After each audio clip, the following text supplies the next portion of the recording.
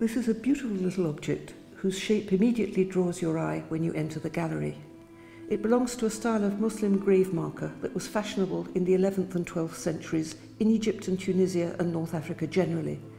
Now we call them prismatic tombstones after their shape, and because of their elegance, they've become collector's items. This type of gravestone always has an inscription in the majestic Arabic script called Kufic. Bismillahir Rahmanir Rahim, in the name of God, the compassionate, the merciful. Nabiyyi Muhammadin wa alihi wa sallam tasliman kulliyan. God bless and keep the Prophet Muhammad and his family.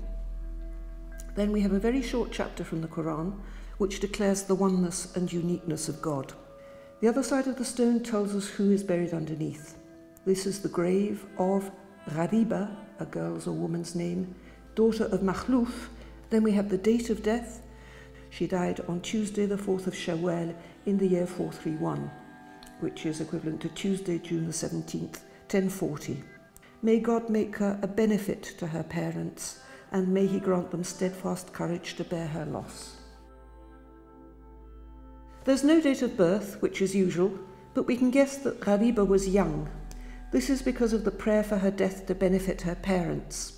The idea is that the innocence of children will plead for their parents and that parents will gain merit if they bear their loss with courage, like Jacob in chapter 12 of the Quran, who went blind with weeping for his lost son Joseph, but nevertheless showed steadfast courage. Does a tombstone belong in a museum and should it be treated as a work of art? Medieval Muslim travel writers described notable tombstones, so we know that they were noticed and admired. Sometimes stonemasons added their signatures as a mark of pride, and there were distinct fashions in tombstones over time and in different places. So I think we can say that they were meant to be works of art. Their beauty was meant to soothe and console. What were people's feelings about death and the dead? This is what most interests me about the tombstone because I study the Arabic literature of the time when Ghariba lived, and death and mourning, love and loss are very important subjects.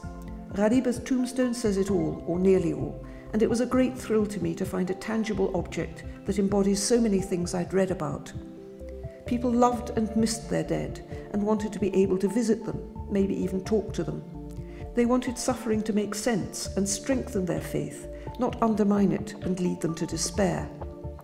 People went and meditated in graveyards, and there are stories of them being reminded by voices from the grave to think on death and decay. But there are also graveyard tales of lovers' quarrels being healed after death and husbands and wives reconciled. People wrote poems to mourn their dead, to describe the horror of their death throes and remember how much they loved them. Poetry was one of the most important ways of living out death. Because of this, poems are often found on tombstones. But it wasn't all gloom. People could see the funny side of death too, and its creepy side. We have thrillers set in graveyards and satirical mock epitaphs. This is all part of the landscape of Ghariba's tombstone, and the tombstone is one of the ways that the Ashmolean makes it possible for teachers to show their students what ideas and feelings meant a thousand years ago.